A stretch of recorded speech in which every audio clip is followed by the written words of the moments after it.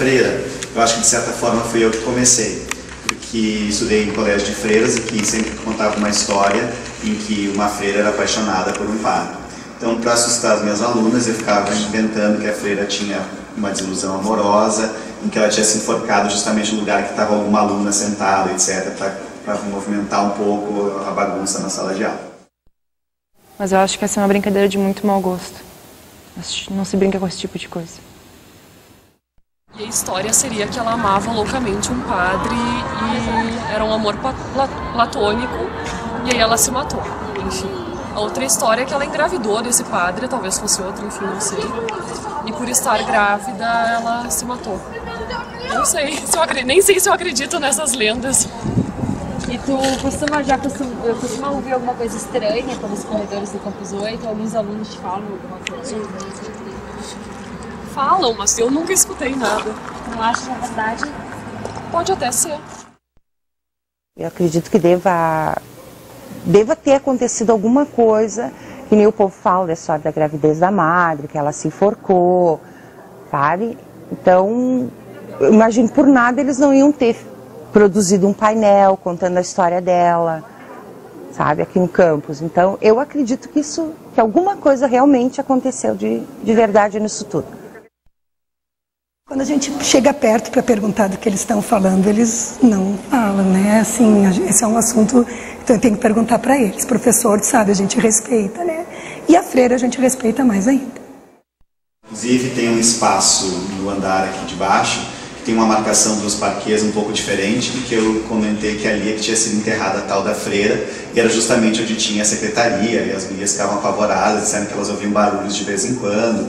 E aí essa história começou a proliferar um pouquinho mais, e a professora Guadalupe Bolzani também entrou na brincadeira, e aí a gente foi espalhando, e enfim, é, tomou essa dimensão.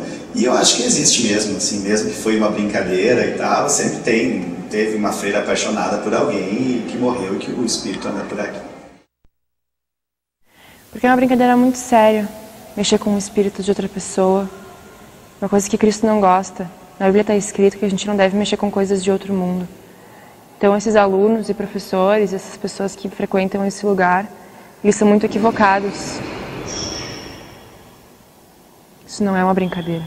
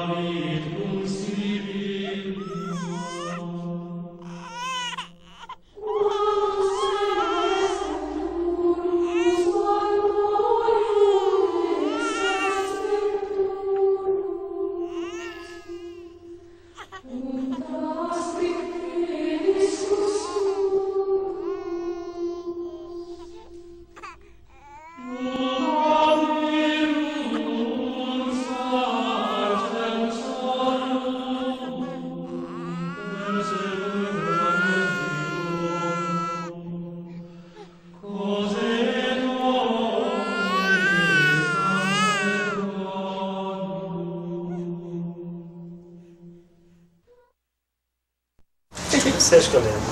Acha que é lenda? Uhum. Mas impressiona. Mas já viu algum vulto por aí, alguma coisa assim? Se estiver nesse corredor sozinho de noite,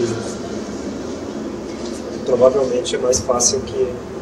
Não sei que tua mente te engane, mas que eu já tive a impressão de ter visto já. Já? E como é que foi a sensação assim?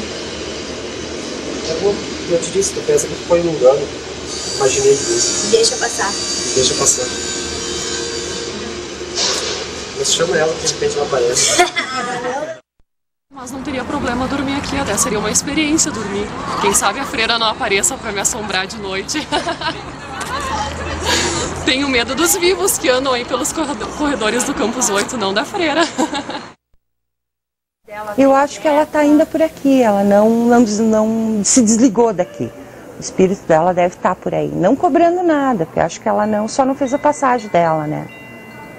Quem acredita, e eu acredito. Eu acho que tem um fundo de verdade nisso tudo, tem. Adoraria poder presenciar alguma coisa, sabe? Ver, sentir, afinal, mas é que de noite a gente nunca fica aqui, não tem a possibilidade de poder ficar. Né? As pessoas se afastam do caminho do Senhor, a nossa alma fica muito mais aberta e muito mais receptiva às coisas que não são de Deus, que são do inferno. E foi o que aconteceu com essa freira. Ela se afastou dos caminhos do Senhor, ela se afastou dos caminhos de Deus. E ficou aberta a todas as tentações do diabo.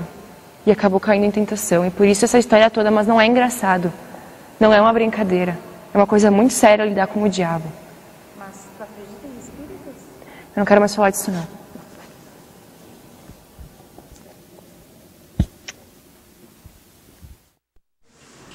Acho que o grande problema não é ficar sozinho no campus 8 trancado. É sempre, em qualquer momento, porque quando tu tá andando sozinho, tu olhar para trás, com certeza um vulto, uma luz, um movimento, tu vai enxergar porque a freira tá aí.